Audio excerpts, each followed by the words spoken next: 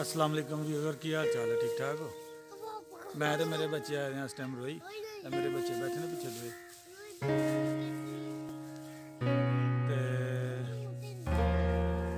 ਇਹ ਦਾਊਦ ਤੇ ਹਮਾਦ ਦੋ ਬੈਠੇ ਹੋਏ ਨੇ ਪਰਾਲੀ ਦੇ ਉੱਤੇ ਰੋਈ ਆਏ ਨੇ ਮੈਂ ਨਾਲੇ ਯਾਰਾਂ ਦੋਸਤਾਂ ਨਾਲ ਗੱਪਸ਼ਪ ਕਰਨੇ ਆ ਨਾਲ ਕੰਮ ਸ਼ਮ ਕਰਨੇ ਆ ਡੇਲੀ ਰੂਟੀਨ ਦਾ ਕੰਮ ਹੈ ਅਸਲਾਮ ਅਲੈਕਮ ਕੀ ਹਾਲ ਚਾਲ ਹੈ? ਠੀਕ ਠਾਕ ਹੋ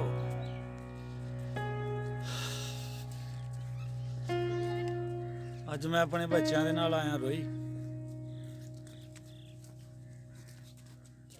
ਬਾਰਿਸ਼ਾਂ ਹੀ ਦੀਆਂ ਬਾਰਿਸ਼ਾਂ ਹੋਣ ਦੀ ਵਜ੍ਹਾ ਤੋਂ ਕਰਕੇ ਪਰਾਲੀ ਸਾਰੀ ਭਿੱਜ ਗਈ ਦੀ ਸੀ ਤੇ ਧੁੱਪਾਂ ਵੀ ਨਹੀਂ ਲੱਗਦੀਆਂ ਪਈਆਂ ਕੋਈ ਵੀ। ਪੈਸੇ ਫੜ ਤੇ ਬੱਚੇ ਇੰਜੋਏ ਕਰ ਰਹੇ ਨੇ। ਤਿੰਨ ਪੈਸੇ ਜਨਾਬ ਨਾਲ ਛੋਟਾ ਭਾਈ ਹੈ ਵਿਕਾਸ ਆਫਰ। ਬੱਚੇ ਜਨਾਬ ਮਸਤੀ ਕਰ ਰਹੇ ਨੇ।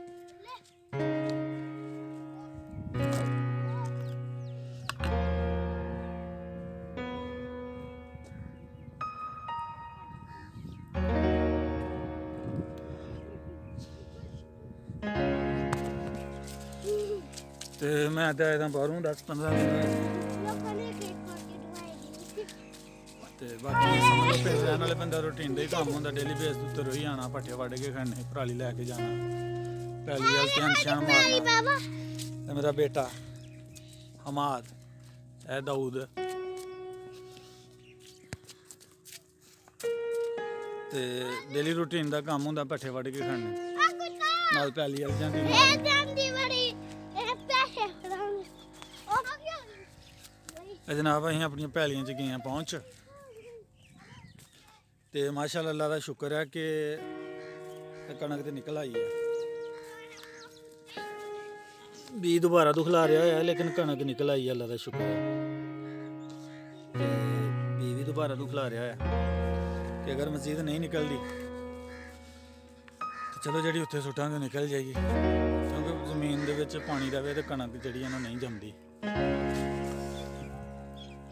ਇਹ ਸਾਡੀ ਪਰਾਲੀ ਆ। ਭਿੱਜ ਗਈ ਦੀ ਸਾਰੀ ਕੇ ਇਹਨੂੰ ਫੋਲਣਾ ਜਨਾਬ ਸੁਕਾਉਣਾ ਜੇ ਸੁੱਕੀ ਨਾ ਤੇ ਡੰਗਰਾਂ ਨੂੰ ਕੀ ਪਾਣਾ ਉਹ ਵੀ ਮੁਸੀਬਤ ਬਣ ਜਾਣੀ ਇਹ ਸਾਡੀ ਦੂਸਰੀ ਪੈਲੀ ਹੈ ਬਿਲਕੁਲ ਹੀ ਨਹੀਂ ਉੱਗੀ ਦੀ ਕਿਉਂਕਿ ਅੱਜ ਪਾਣੀ ਹੈ ਬਹੁਤ ਜ਼ਿਆਦਾ ਨਜ਼ਰ ਆ ਰਿਹਾ ਹੈਗਾ ਤੁਹਾਨੂੰ। ਇਹ ਬਿਲਕੁਲ ਹੀ ਨਹੀਂ ਉੱਗੀ ਦੀ। ਵੀ ਇਹ ਚ ਵੀ ਪਹਾੜਿਆ ਦਾ ਕਣਕ ਦਾ ਫੇਰ ਖਲਾਰ ਛੜਿਆ ਦਾ ਵੀ। ਦੇਖੋ ਹੁਣ ਉਗਦੀ ਹੈ ਕਿ ਨਹੀਂ ਉਗਦੀ? ਜੇ ਤੇ ਮਜ਼ੀਦ ਬਾਰਿਸ਼ ਨਾ ਆਈ, ਫਿਰ ਤੇ ਉਗ ਜਾਏਗੀ। ਤੇ ਜੇ ਬਾਰਿਸ਼ ਹੋ ਗਈ, ਫਿਰ ਨਹੀਂ ਉਗਣਾ ਕੋਈ ਵੀ। ਇਹ ਜਨਾਬ ਥੋਮ ਹੈ। ਉਰਦੂ ਚ ਲਸਣ ਕਹਿੰਦੇ ਨੇ, ਸਬਜ਼। ਇਹ ਆਪਣੀ ਮੰਬੀ ਹੈ।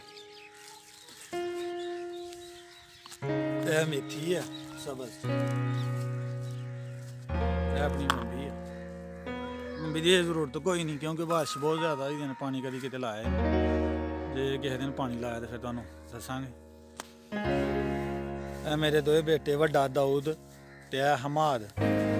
ਦੋਵੇਂ ਜਨਾਬ ਮਸਤੀ ਕਰ ਰਹੇ ਨੇ ਪਰਾਲੀ ਦੇ ਉੱਤੇ। ਹੈ ਇੰਜੋਏ ਕਰ ਰਹੇ ਨੇ ਮੌਸਮ ਨੂੰ। ਤੇ ਨਾਲ ਹੁਣ ਤੁਹਾਨੂੰ ਦੱਸਨੇ ਆ ਕਿਸ ਤਰ੍ਹਾਂ ਪਰਾਲੀ ਸੁਕਾਉਣ ਵਾਸਤੇ ਪਾਣੀ ਹੈ ਤੇ ਨਾਲ ਜਿਹੜਾ ਨਾ ਉਹ ਕਰਨੇ ਆ, ਪਰਾਲੀ ਸੁੱਕਣੇ ਪਾਣੇ